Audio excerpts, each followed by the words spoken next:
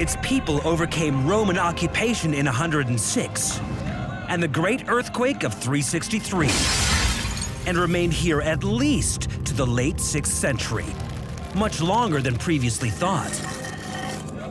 So, what was the key to their resilience? It would seem that Petra thrived thanks to the Nabataean skill in managing the scarce resource of water. The Nabataean storage and irrigation system was an incredible marvel of engineering.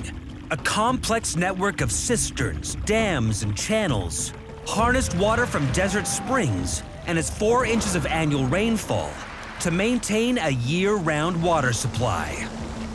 Petra is located in one of the most inhospitable and difficult regions to place a city that I've ever encountered.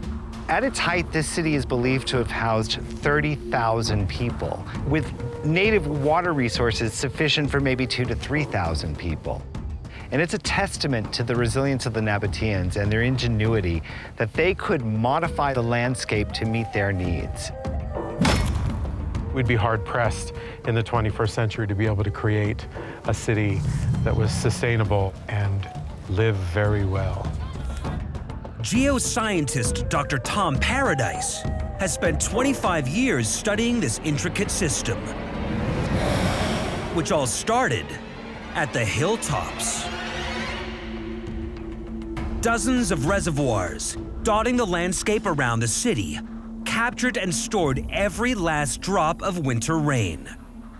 The highest place in the area in the valley, we have a cistern that was able to collect water from the whole summit area.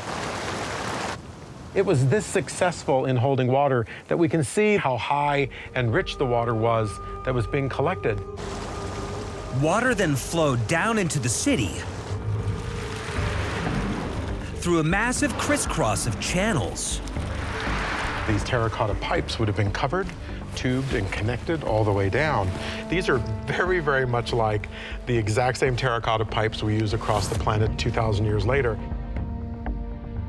And we have more than 100 miles of these channels throughout Petra where the water would have been fed into the city very, very slowly, stored again in a series of cisterns also, if you notice that they're not very steeply angled, it's a very gentle angle. If it's too steep, the water would rush through too quickly and back up.